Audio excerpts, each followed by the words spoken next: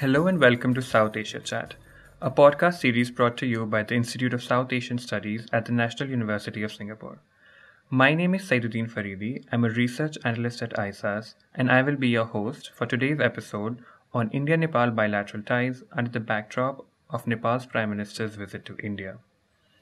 Nepal's Prime Minister Pushpa Kamal Dahal's four-day visit to India, which began on 31st May, marked his first foreign visit since he took office in December of last year.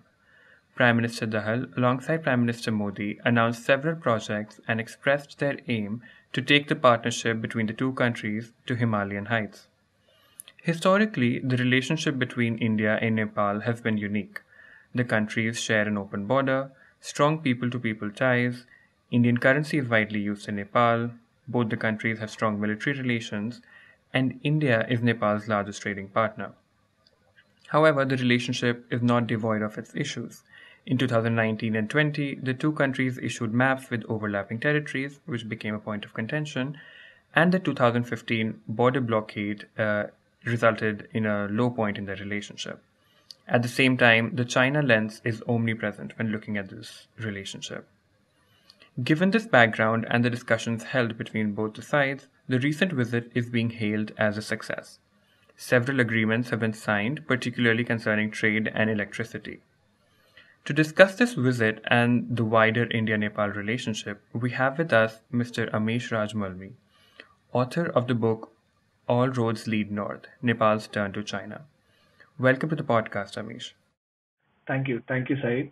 Pleasure to be here. I think we can begin the conversation by establishing what the importance of the visit was. So, what is the significance of Prime Minister Dahal's visit to India, and why has it taken so much time for him to land in New Delhi? I think, I mean, that this this thing that this thing that it's taken so long, I will not agree. I mean, it's his fourth visit as prime minister, right? To and firstly, the coalition, the ruling coalition, has taken time to form itself. Uh, initially, there was a different coalition, uh, and now, uh, and then uh, one of the supporting partners, which is Prime Minister, uh, former Prime Minister Oli, he pulled out of the coalition. Then the Nepali Congress joined in. He had to take, retake the trust vote. So I think the coalition took time to form itself, and then thereafter there were also the presidential elections that were happening. So there were lots of equations around that. So any foreign visits by the Prime Minister seemed to be deferred until these modalities were sorted, right? But in terms of significance, I think, as you said, uh, we've seen long-term power deals, uh, plus the trilateral power purchase. There's a go-ahead on that. So Nepal will be able to sell power, 40 megawatts of power to Bangladesh through Indian transmission lines very soon. India has committed to buy 10,000 megawatt of power if in 10 years. There are new infrastructure connectivity announcements cross-border digital payments seem to be uh, getting a, boost for now. There's a new transit agreement that allows Nepal to use Indian waterways, and there is an acknowledgement of the border dispute from the Indian side as well. So, in terms of significance, I would say I would list these. But in terms of the overall bilateral ties, I think what this visit did was it's also suggested a reorientation of ties focusing on the economic connectivity aspects more than the political which has always loomed on the horizon in India Nepal ties. So, and once the prime minister has returned here to Kathmandu, there has been opposition which has rallied around these political aspects, right? But to me, I would say that the real big breakthrough was in the economic sphere, especially in power trade and connectivity.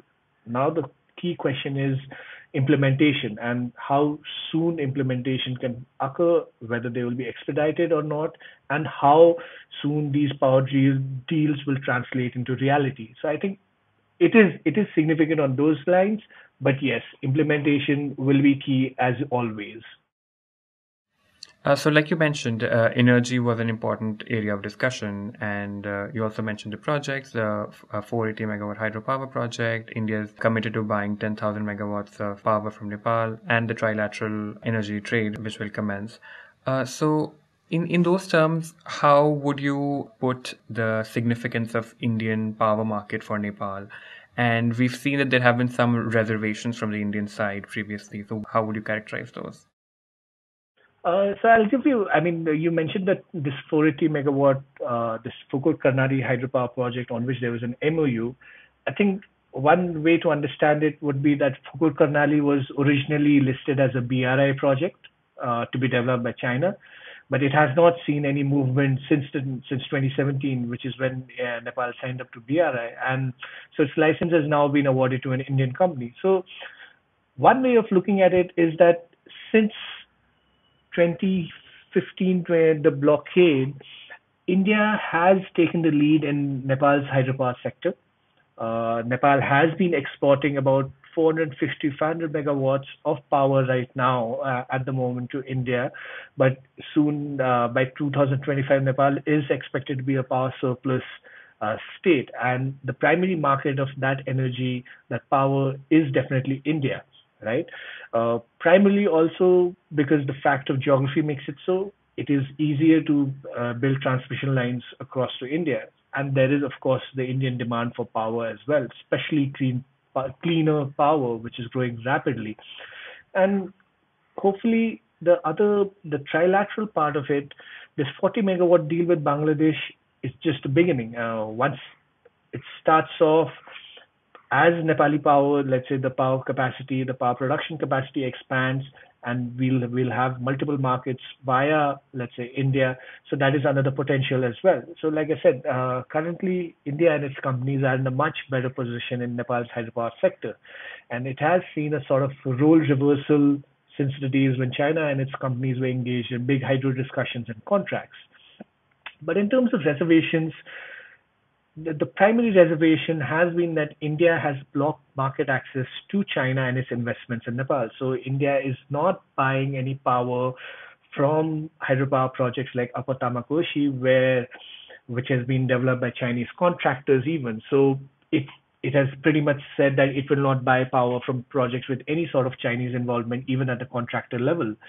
And I think Nepal currently then faces a dilemma over how to overcome such reservations because Chinese contractors, well, they are among the cheapest and across the world. And if they bid for projects over here and they get the contract, will India buy them? Will India then buy the power or not? I think that's a big question that's looming over uh, Nepali, let's say, power developers as well as the power policymakers. But let's see. I mean, how it goes from here on. Connectivity beyond electricity has also received a push with the inauguration of the cargo train between India and Nepal and the progress on integrated checkposts. How are these initiatives likely to strengthen economic ties and bilateral relationships between India and Nepal?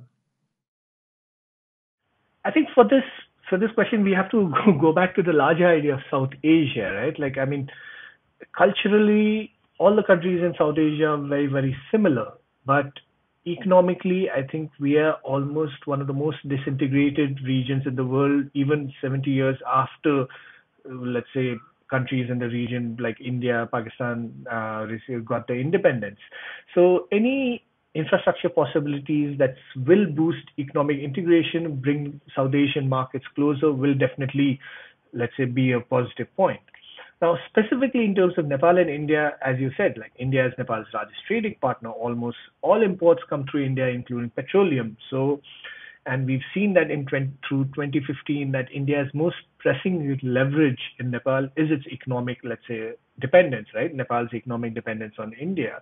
So Nepal obviously has concerns regarding these long-term economic relationship with India, especially after 2015.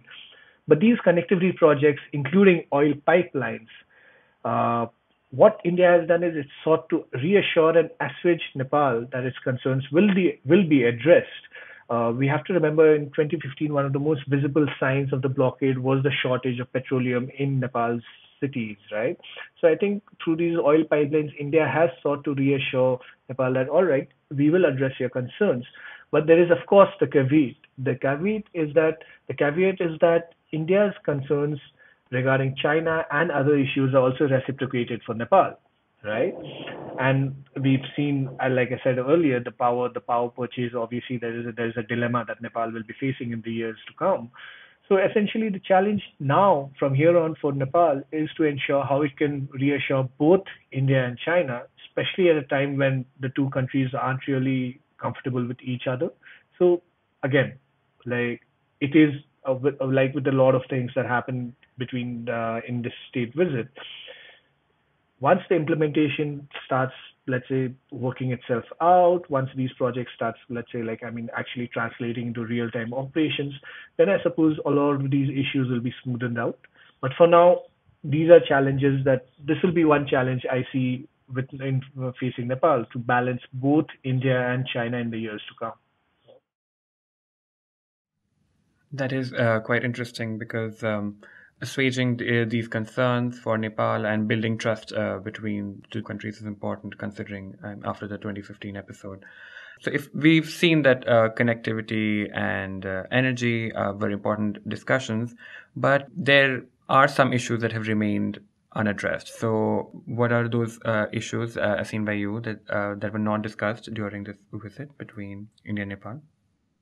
So, of course, I mean the primary the primary issue was one of new air routes, right? Especially new air entry routes into Nepal. Uh, Nepal has been actually, I mean, it's been nine years since the day that Prime Minister Modi, when he was first elected in 2014, he came to Nepal, and during at that time, the joint statement between the two prime ministers actually said that within the next six months, new air routes would be announced. And it's been nine years now, almost getting to 10 years, right?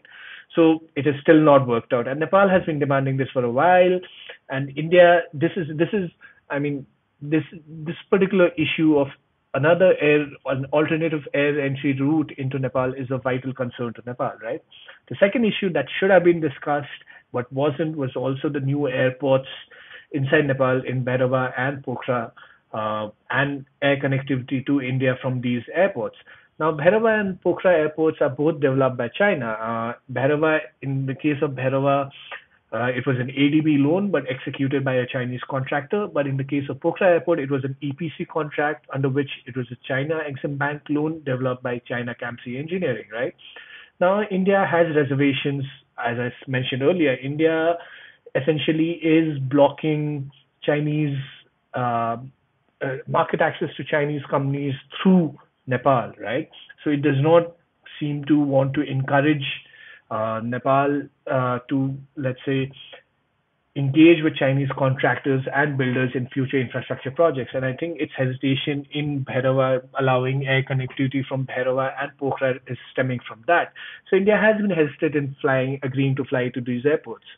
A breakthrough was expected, but didn't come through. And the other fact is that Indians remain the highest foreign visitors to Nepal, and in a tourist tourism heavy, let's say tourism dependent market like Nepal, these airports' primary market will be India.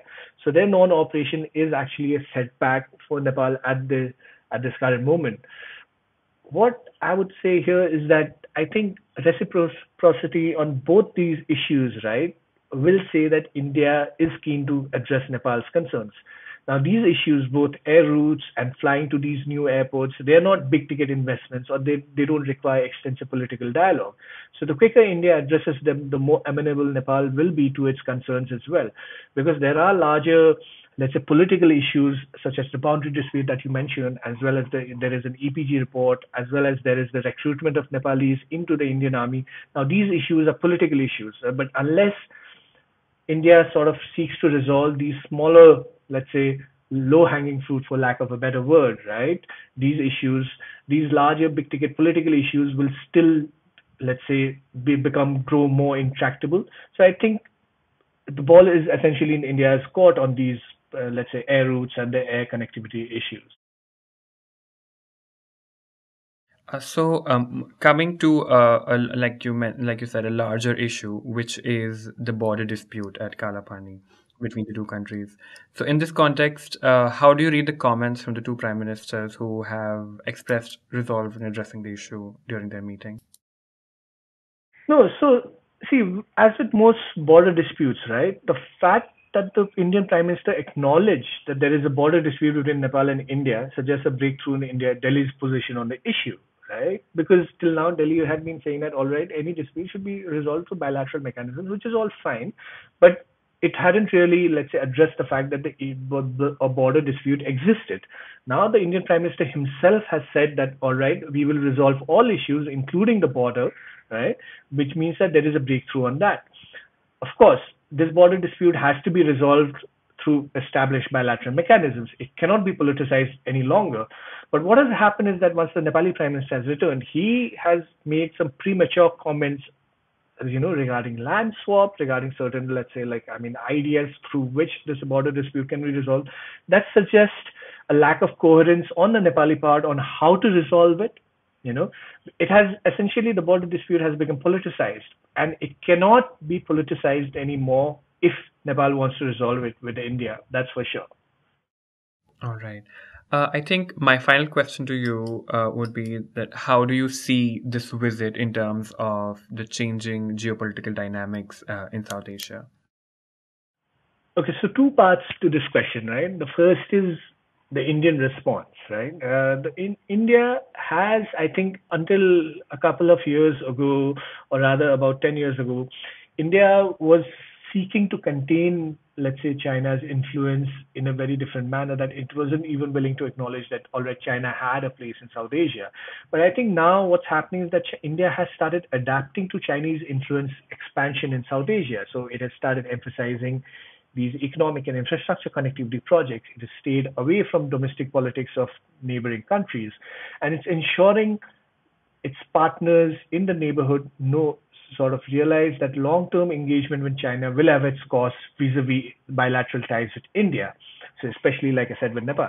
But that does not mean that China is not in the picture at all. Uh, but what has also happened is that since the Sri Lankan and the Pakistan economic crisis, this high cost of Chinese capital has obviously sort of made other countries in the region, like Nepal, wary of, of Chinese capital. So political engagement by China has continued but you have there is a sort of distinct slowdown in the economic engagement with China. So that's the larger, let's say, the big great power perspective, right? But on part of its on the South Asian, let's say, ecosystem, the South Asian neighbors, the smaller countries, there is also a feeling that Indian interest in the neighborhood is no longer predicated on just having a friendly government, right? Or but on economic on expanding economic connectivity. That has its own cost benefit analysis. But India's neighbors are also they seem to be keen on capitalizing on this revitalized revitalized Indian interest to expand regional connectivity. So actually, I mean, Bangladesh and Nepal power trade via India is a great trilateral regional model that can be emulated in other regional, let's say, like areas of the world as well. So smaller countries in the region will continue to hedge their bets against the bigger two bigger neighbors. Like I said, I mean Nepal will have to let's say assure both India and China in the days to come. As seen in Bangladesh, you can also have situations where China and India are both investing in the same port infrastructure, right? So it is it's not necessarily a a game where a larger geopolitical game where decisions or let's say the outcome can be immediately understood. It is a sort of a uh, the, the, the, the, rules are constantly changing. The, the India is taking certain decisions that will that are affecting its smaller neighbors, but its neighbors are also reacting to these decisions in a certain manner. They're sort of trying to figure out, all right, what is the best way that we can engage both these, you know, countries to our best benefit or to our best, let's say, like outcomes. So it, it, it will South Asia will definitely be a very interesting region in the days to come for sure. Yes, I think that answer quite well encapsulates the evolving dynamics here in the region. Thank you so much, Amish, for joining us and for your nuanced views on India Nepal ties and on South Asia in general. This has been quite an insightful conversation. Thank you. Thank you, Sai. Thank you for hosting us. You were listening to South Asia Chat. You can learn more about our work by visiting us at isas.nus.edu.sg. You can also get updates on our research and publications through social media. You can find us on Twitter, LinkedIn, Facebook, and Instagram.